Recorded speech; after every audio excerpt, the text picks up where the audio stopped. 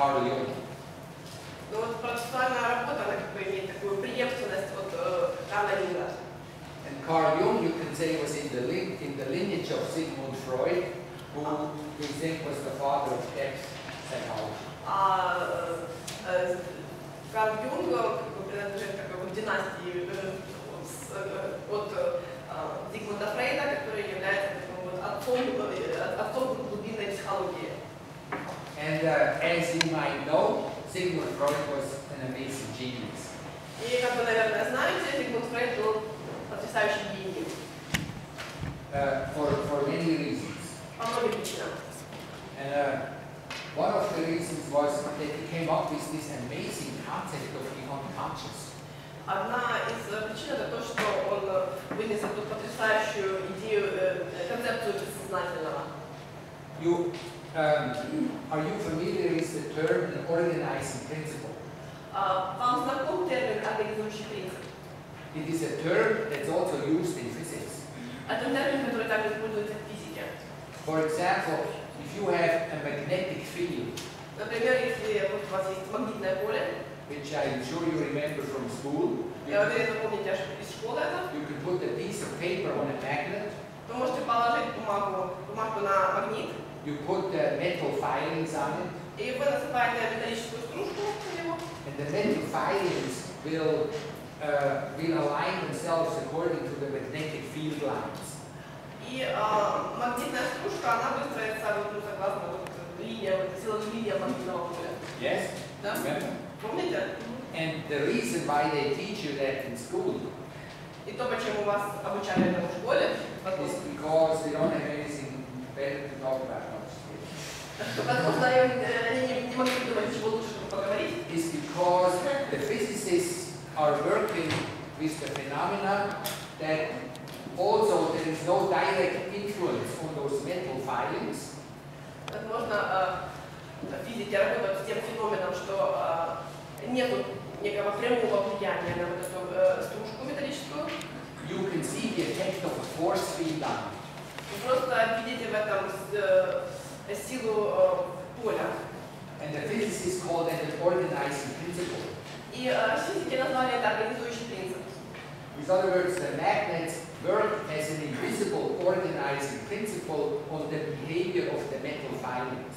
Э, Что магнит, он работает как такой невидимый организующий принцип поведения металлической стружки. And Freud was a genius. He was looking at people И Фро- Фрейд был гением, он смотрел на людей, and their behavior, and he said some of the behavior makes no sense. и на их поведение, и говорил, что некоторое поведение оно э, не имеет смысла. People behave not as they're supposed to behave, А люди ведут не так, как они должны были бы себя вести. but they sometimes behave a little bit like they're supposed to behave. Ну, иногда они немножко ведут себя таким образом, как должны были бы себя вести. But frequently they behave as if they were under some invisible force field that organizes their behavior. Но чаще всего они ведут себя таким образом, как будто вот есть э, некоторое невидимое силовое поле, которое организует их поведение. And he said, we apparently don't notice that about ourselves. И он говорил, что мы, ну, очевидно, не замечаем это о себе. We find ourselves doing something that we don't even like doing. И мы обнаруживаем, что мы вроде, ну, а, оказывается делать что-то, что нам не нравилось бы делать. And we realize we don't have to control ourselves that we think we have. И мы э, понимаем, что у нас нет того контроля над собой, который, вот, нам кажется, у нас есть. And he called the organizing principle the unconscious. И он назвал этот организующий принцип бессознательным. And if you have ever read uh, Freud's introduction lecture, uh, introduction lecture in Vienna uh, to psychoanalysis, Если когда-то вы читали э, Фрейда, э, лекцию Фрейда, Фрейда в Вене «Введение в психоанализ», it's a brilliant lecture where in two hours he apologizes to his colleagues for his, his discovery. это очень такая блестящая лекция, где Фрейд просит прощения у своих коллег за свое открытие. It's a wonderful piece of work where he's he's apologizing to his colleagues. He says, I am very embarrassed about my findings. Это чудесная такая пример мировой работы, которая- в котором Фрейд говорит, я очень, меня очень смущает мое открытие. He said, if you have any intelligence, do not believe me. И Если у вас есть хоть немного ума в голове, то хоть немного интеллекта, пожалуйста, не верьте мне. This is really crazy. Это действительно сумасшествие. And most likely it's not going to be true. И, скорее всего, это окажется неправдой. So if you walk out, I understand. А, Поэтому, если вы не примете это, я понимаю. However, it seems that there is something that controls our behavior in a way that we cannot explain. Ну, поскольку вот, ну, есть э, что-то, что, кон- что контролирует э, наше поведение так, что ну, не- необъяснимым образом. You understand? This was at the height of Newtonian physics. Ну, и это была такая вот, э, время расцвета ньютоновской. when the majority of the scientific world believes that the day will come when we can explain everything in only way. Это вот придет, когда все верили, что придет тот день, когда мы все сможем объяснить вот в модели Ньютона. And we can understand the whole universe and people as a big machine, and we be able to control it in a way that resolves all the problems. И э, мы сможем объяснить всю Вселенную и поведение всех людей э, таким образом, что мы сможем контролировать все проблемы. So science was shocked. What is this person saying? Cannot control. И ученые были просто в шоке, что как так, могут быть какие-то вещи, которые мы не контролируем. So Freud thought at the time, he was, his idea was that the part that we cannot control are some natural impulses. Э, И Фрейд э, говорил о том, что часть, которую мы не контролируем, это некие естественные импульсы, that collide with our family values. а, которые э, пересекаются с нашими семейными ценностями. Are you familiar with the term family values? А, Знаком термин семейные ценности? Yes. Family values is your mom and dad. Это э, мама, папа. Every time when you think to yourself, how, how can I tell this my parents? Каждый раз, когда вы думаете, как же я скажу это своим родителям, Or I better don't tell this my parents. лучше я это не буду говорить своим родителям. You are working on a Freudian issue. Вы работаете над э, фрейдистскими вопросами, Your natural instincts against family values. а ваши естественные инстинкты против семейных ценностей. Every time you think, I don't know this, И каждый раз, когда вы думаете, я не замечаю, meaning it's unfamiliar. Означает, что как бы не, незнакомо. Unfamiliar means not in my family. Незнакомо означает, что как бы вне моей English семьи. word unfamiliar means it's not my family. Ну, unfamiliar I've это never seen it, I've never tasted it, I never smelled it. А, ну, там игра слов английская, это unfamiliar, вне моей семьи, что я никогда этого не чувствовал, не ощущал, не не трогал. Let's be careful about it. И давай я буду осторожней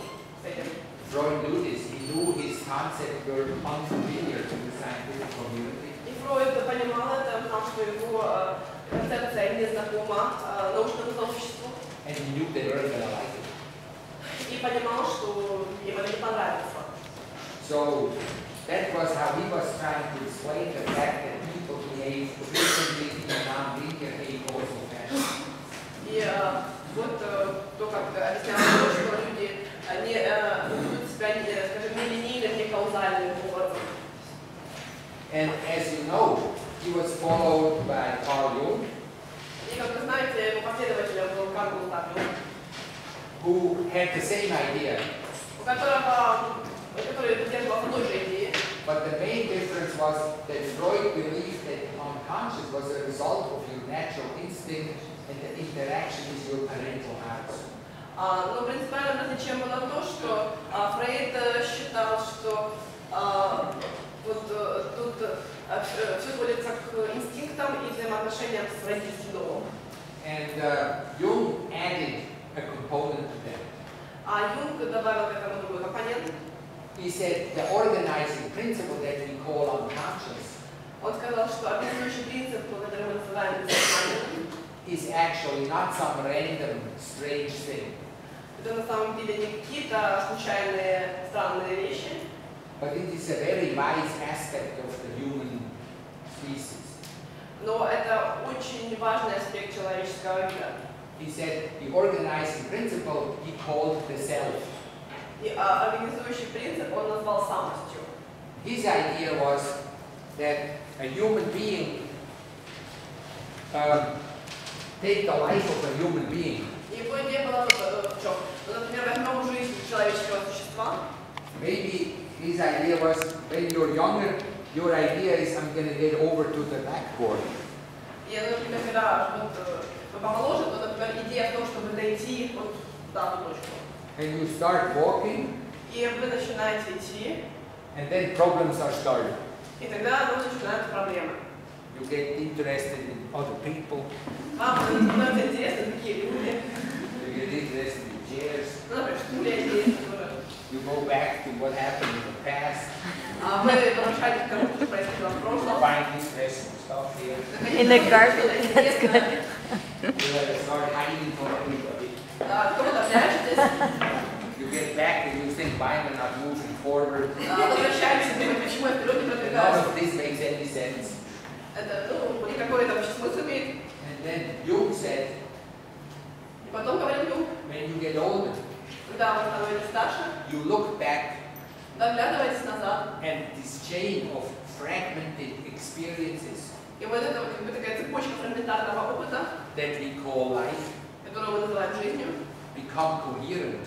становится когерентной. And you understand there was a meaning for all these detours. И вы понимаете, что было некоторое значение во всех вот этих вот поворотах. Every problem, every difficulty had its own meaning И что любая проблема, любая сложность имеет свое значение. and helped you become more of who you truly are. И помогает вам стать э, больше тем, кем вы являетесь. And he called this journey the individuation process. И он называл это путешествие процессом индивидуации. And he thought that the unconscious was the organizing principle, was the self that helped you to become yourself. А, И э, этот организующий принцип он называл самостью, которая помогает вам стать собой. And um, both Freud and Jung um, И uh, как Фрейд, так have и a lot Юнг, in common and both believe that the best way to understand the deeper meaning behind all those weird things that we're going through И, э, и Фрейд и Юнг сходились в том, что основное э, в вот этих вот всех странных вещах, через которые мы проходим, was to look at your night dreams. это обращать внимание на сны. Believe they thought if you can understand your night dreams, your night dreams are explaining you to yourself, so to speak. И э, если э, э, вы э, обращаете внимание на свои сны, то они могут помочь вам про- прояснить всё это. And um, and they are in a way they are the, the they called it both the via regia, the royal way to understanding the organizing principle behind И it. они оба это называли э, via regia, королевская дорога для понимания, понимания этого организующего принципа. So process work steps in that lineage. И процессуальная работа, она э, тоже вот продолжает эту линию. and Arnold which is now considered among the 10 best known Jungians of all times. И Арнольд Мендел, который сейчас э, считается одним из 10 э, лучших юнианцев всех времен, the, the developer of process work, he said, well, that organizing principle, that organizing principle, let's call it for the time being, not unconscious, let's call it for the time being the process. Yeah. Он говорил, давай вот э, давайте временно назовем вот этот э, организующий принцип э, не бессознательным, а назовем это процессом. And let's stop calling it the conscious and the unconscious because when you actually work with a human experience, what is conscious and what is unconscious is constantly changing. Давайте перестанем разделять сознательное и бессознательное, потому что на протяжении жизни вот э, в реальном опыте э, сознательное и бессознательное оно постоянно меняется, местами перетекают друг друга. And his beginning work was uh, that he said the, um, the, the, the process or the organizing principle can be found every moment. А, И